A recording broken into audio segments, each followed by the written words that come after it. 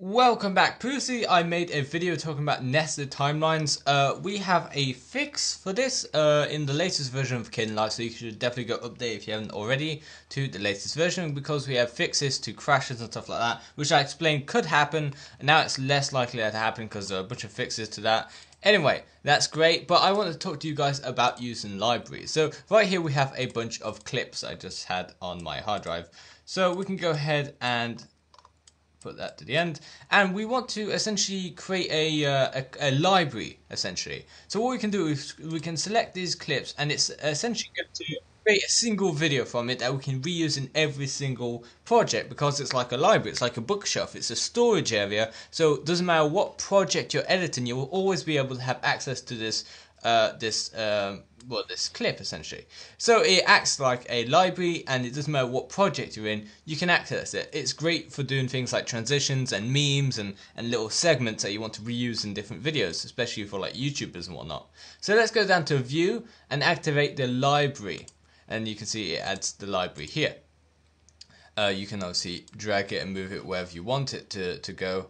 I'm gonna put it back here and you can see I already have a video in my library called full tutorial. And you can see uh, we have uh, the project when it was created and whatnot. And we can go ahead drag it into our timeline. And here it's gonna import this as a as a single a video file. And obviously the audio waveform is being built out. You can see the job here.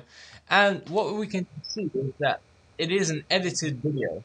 This is a bunch of different videos that I combined together and it edited it all into a single video. So it essentially exports and compiles different video segments into a single video file. So it's great for working on different projects uh, with the same video elements, uh, like I said, for memes or different bits in your videos. What we can do to do this is select all the videos that you want. I'm going to select these two.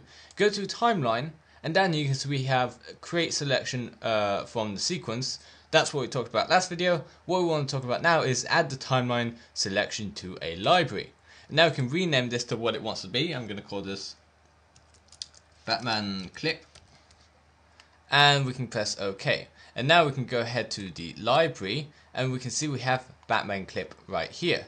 And so obviously this is uh, um, not built up fully yet. So what we can do is we can go ahead drag this into our timeline and now you can see it adds it into our project here as it, uh, its own individual clip. So all this is combined into a single video file instead of the two individual video files that you had before. And like I said, you can use this in all your projects. Every Kdenlive project that you open up, your you can go to your libraries and you can find all the different uh, clips that you turned into uh, libraries. And uh, then it's only then that it builds out your uh, project file like you importing it.